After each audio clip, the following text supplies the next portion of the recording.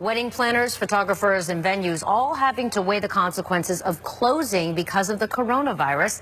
ABC Action News reporter Andrea Lyon spoke with a bride who planned on getting married this weekend, but she made drastic decisions in the name of just being safe our venue's going to close, our couple's going to feel uncomfortable having their wedding. The lace, the bling, all the attention on you. Today we have come together to witness. It can all seem like a fantasy. Last month I had three. But now the wedding industry is facing reality. Wedding planning is stressful enough. On Monday afternoon, the president asked the public to limit gatherings to 10 people.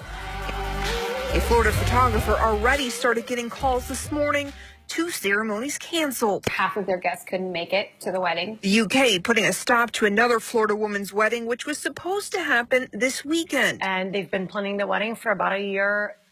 And, you know, everyone's here. They really want to be able to get married on this particular day. It's important for them. The bridal finery is seeing fittings already being rescheduled. We were just trying to, you know, navigate through it all as everyone is. It's really stressful and it's more stressful thinking about everybody else. And their brides? A lot of planning, a lot of detail. Postponing their big days to keep family safe. My sister has an, two autoimmune diseases and she was in New York, so for her to fly, it's very dangerous. Yeah, it's the unknown I think is the the worst part, really. Many couples were scheduling for a later date, but photographers unsure of when the outbreak will clear. They want to reschedule their weddings for the summer, but what if this is still going on in the summer?